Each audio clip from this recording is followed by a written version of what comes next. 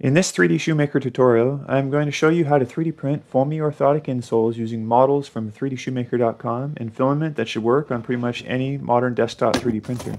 The results are quite impressive and the cost is similar to buying off-the-shelf insoles and far cheaper than getting anything custom done.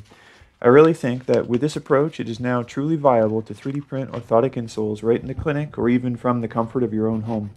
And if you do 3D print them yourself, it's even easier to repeat every time you need a new pair for years to come.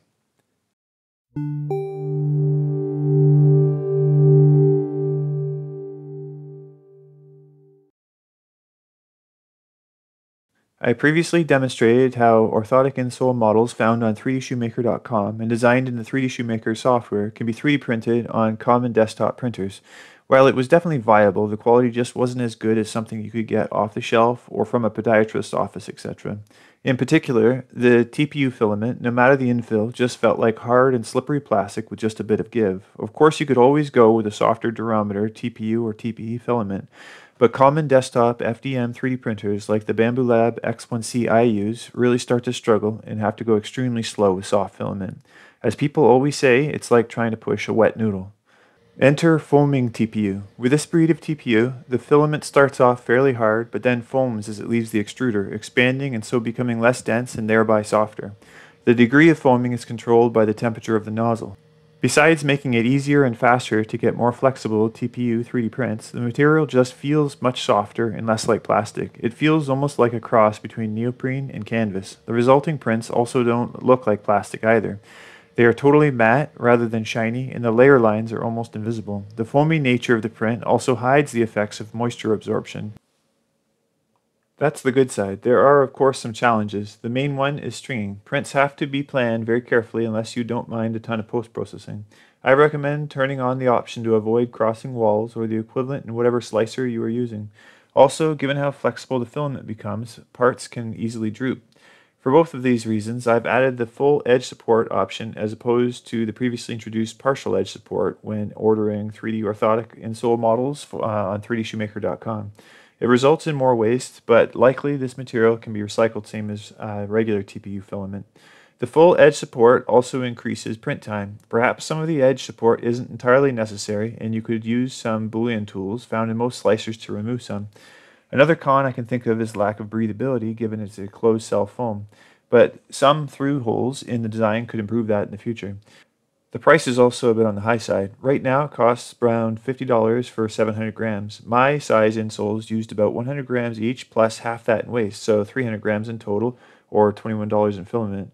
But I wear a US men's size 14, so it would be a lot cheaper for most people.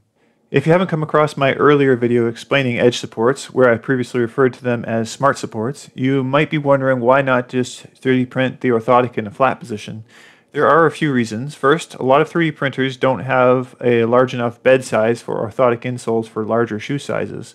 Second, the bottom of the insole isn't necessarily flat, so you end up needing support material which ends up being quite tricky to remove. And third, stringing is more of an issue with the flat topology, and striations greatly detract from the aesthetics of the insole. An edge support solves all of these. The most recent version of the edge supports includes a kind of perforated edge, making it extremely easy to remove the support from the orthotic insole. Perhaps a small amount of sanding or grinding could be done to clean up the edge. I'll provide a link in the description of this video for the foaming TPU I'm using, as well as a good starting profile. There are a few settings that could be tweaked from there though. The most influential setting for this filament is nozzle temperature. It is suggested to be set anywhere from 200 degrees uh, Celsius to 250 degrees Celsius, with the latter achieving maximum foaming. I found that quality integrity greatly degraded at higher temperatures though, so I stuck with the profile default of 230 degrees Celsius.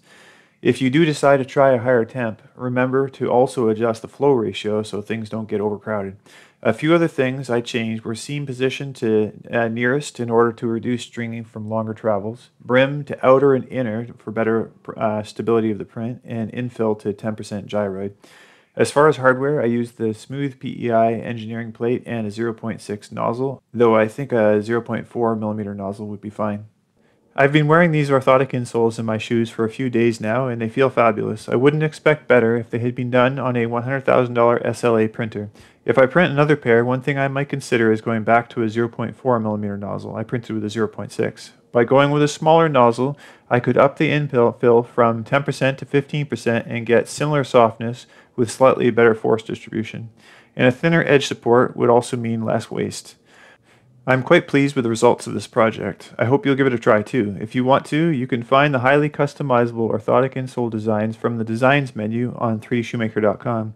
Make sure to choose the option for a full edge support in the edge support section. And of course, you can also design your own orthotics, even vacuum form them to foot models using the 3D Shoemaker plugin for Rhino 3D.